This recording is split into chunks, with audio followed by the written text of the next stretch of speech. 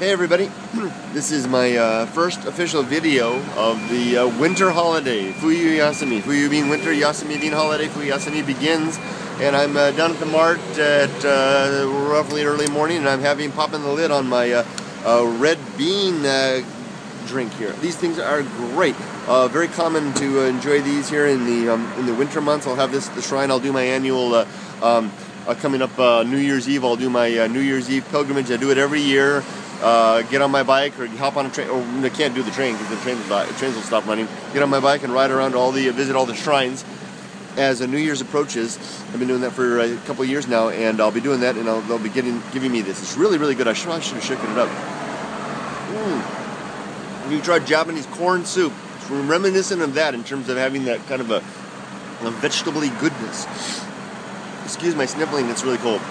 Anyway, um, I wanted to came on down I want to make my first video of the year, and the first thing I want to talk about, I'm sorry to, to go on and on, this is going to be a YouTube related stuff, if you're not interested in that kind of stuff. But I really, I really think YouTube did something astonishing with their new layout, with their new, with the new changes.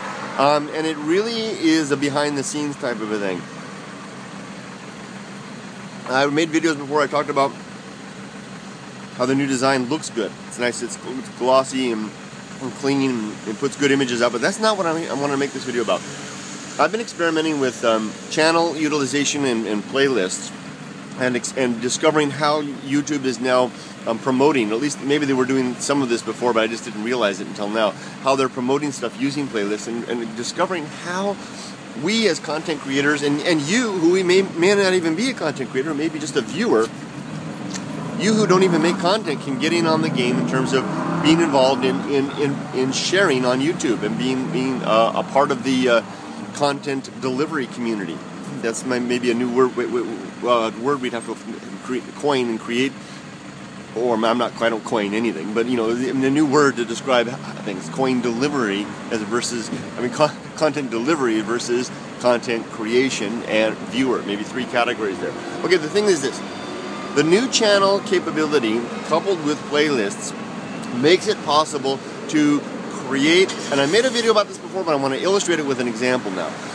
It makes it possible for us to create channels out of thin air and make them appear within 24 hours. You can make a channel appear rich and mature in content and appearance, regardless of whether it has anything uploaded to it. Now you could have done that before also with, with, with, playlists, but now the new design makes it even more so. Now, and I'm gonna. This is not a, a plug for new channels. I, I, don't really like to plug my own stuff, but I can't resist the opportunity to use my own uh, a new channel that I just created as an example because it illustrates the point so well. Okay, for a long time, I, I, I have thought that I would. I, I have a lot of experience with. I mean, I, I experience trains. I don't know anything about trains in Japan, but I'm around trains all the time and I'm and I'm always tempted to lift my camera and take a picture of it, but I don't know what they I can't say anything about trains, right? I don't know anything about trains. So uh, I thought I'm going to create a channel that is just dedicated to sharing my observations of trains. It's similar to the YouTube Bullet Train sharing Japan, but just trains, okay? Just just trains. Now I know that if I did that on the YouTube Bullet Train, you guys get sick of seeing just trains all the you know one after another like that. So I created a new channel called. Um, and again, this isn't a channel plug. This is I want, I've got a point here.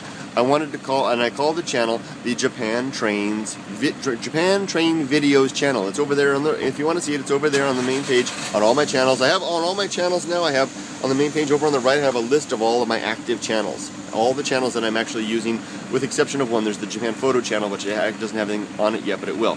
So all those channels over there. You can see a link to the Japan Train uh, Videos channel. Now the, the, the slogan for that channel is high. Uh, HG quality videos and photographs of trains from Japan. That's the whole purpose. Now, I created the channel from scratch one day, well, it's been about a day and a half ago. Had nothing in it. I realized that I could populate that um, channel with literally dozens and dozens of videos because I already have dozens and dozens of train videos from my various channels and get create playlist and populate it and give it. And, and, if you go over and take a look at that channel, it looks like it's been there for a while. It's got lots of playlists, it's got lots of videos, but only about four videos are actually hosted on the channel. Only about four uploads. But that doesn't matter. The uploads are irrelevant to the fact that the channel can exist. And, and what it really does is it delivers a, a, a, a focused content. Now, and I'm really glad about this, okay?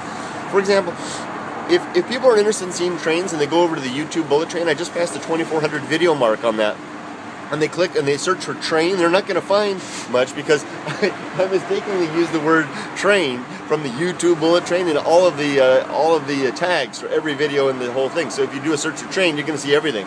So I had to go through manually and filter out all of the train related videos from the YouTube bullet train, likewise with a handful that were over on the Softy Papa channel, and then apply them to playlists over on the Japan Train Videos channel. So you see what the what the channel does? It gives me a chance to focus content from one source into a, into a, a, a showcase, so to speak. The, cha- the Japan Train Videos channel is a showcase for content that I've created that has to do with trains. Now I'm not limited to that. I can I can add other people's videos about trains as well. I can I can I can create. Now I'll get to that. That'll lead into something else in just a moment. But see the point though. You can create a showcase. Now, this reminds me of how we used to do things at the software company I worked at years back.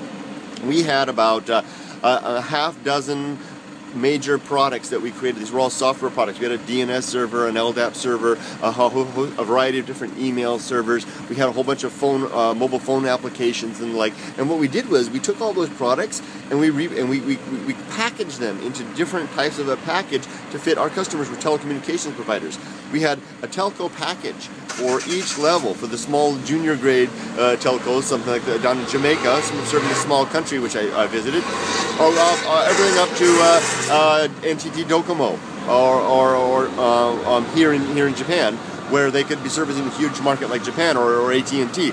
We have we basically the same products rebranded into packages that were consumable by, by an appropriate audience. Likewise, uh, if you have a large video base, whether you're your own or just into the videos on YouTube, you can repackage them using channels and playlists for distribution. Now, why is thing, why are things different now with the playlist? Well, the play you had playlists before, we had channels before, you could have done all this before, but YouTube didn't give us the fine tuning capability with the playlist before. You could only adjust the first six or so videos at the top you, to, to, do it. Now the playlists have their own, have are, are highly malleable. You can add the videos in there and, and, and work them around and give a nice tag to it, and you come up with your own URL. You, each playlist is like a little channel on its own in a way. It's really a remarkable thing, and give it the appropriate um, uh, label.